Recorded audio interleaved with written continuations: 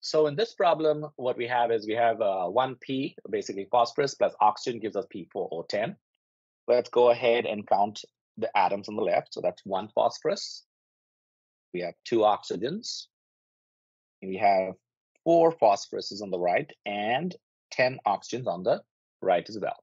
So none of them are balanced, okay? So we can just go ahead and now you can choose what, what you want to balance first. But let's go ahead and balance for the sake of this problem. Let's go ahead and balance uh, the phosphorus. And I just want to mention one thing is whether you choose to balance the phosphorus first or the oxygen first, it doesn't matter. At the end, your completely balanced reaction should look, should be the same. Okay, so if you say, hey, I want to balance the oxygen first, that's totally fine. Go ahead and balance the oxygen first. If you did it right, at the end, your completely balanced reaction and mine should look identical. So here's a good point where maybe you can uh, pause the video and try whatever approach you want, and then we can kind of match answers at the very end, okay? All right.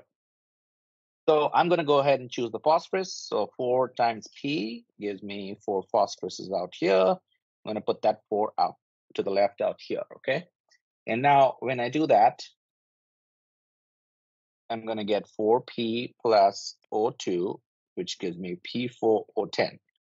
Now, at this point in time, you can choose to do it one at a time. So I just chose to balance the phosphoruses first, and then I'm going to go in the next step, balance the oxygens. I would recommend going about that since you're since we're learning and this is a new thing. But if you want to try to balance the oxygens at the same time, you can you can do that. Just make sure you manage to keep things straight in your head. Okay. All right. So let's go ahead and inventory the left and the right again. So we have four phosphoruses on the left. We have two oxygens on the left.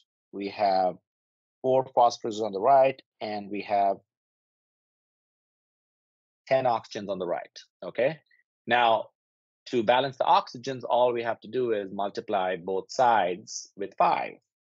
So five times this oxygen gives me two times five, which is 10. And I'm sorry, not both sides, balance the left side, okay? That's what I meant. I'm, I'm unsure if I said both sides or not. All right, so so this 5 is going to go up here. So that gives me 4p plus 5O2 gives me P4O10. And that's going to end up giving me a total of 4 phosphoruses on the left, 10 oxygens on the left, 4 on the right of phosphorus, and 10 oxygens on the right. All right, I hope that made sense. That's completely balanced. Let's move on to the next one.